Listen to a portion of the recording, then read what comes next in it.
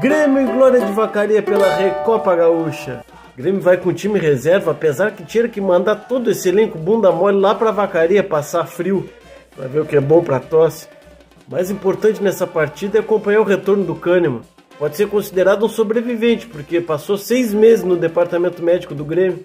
Deus para ver se Natan também, que fez um bom campeonato gaúcho pelo Aimoré. Lamentável ali o Tonhão pela direita. Podia ser o Lucas Cauã, que é lateral direito da seleção sub-20. Até gosto do Tonhão, mas a gente já sabe do que, que ele é capaz. Tem uma boa oportunidade para ver o guri da base. Na lateral esquerda, interessante ver esse Thiago Rosa, que está na frente do Cuiabano. Mano, que é lateral da seleção sub-20 também. Lamentável o Thiago Santos ali, né? Ninguém mais quer saber do Thiago Santos. Era melhor jogar o Sarará ali. Benítez também, lamentável. Benítez não tá afim.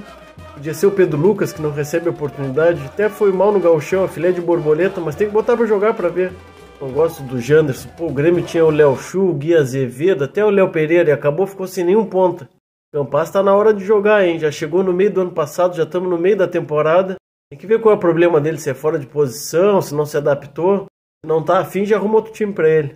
E o Elkson eu esperava mais, tá na hora dele fazer um golzinho, decidir um jogo. Interessante pra ele pegar ritmo de jogo. O Grêmio tá jogando uma vez por semana.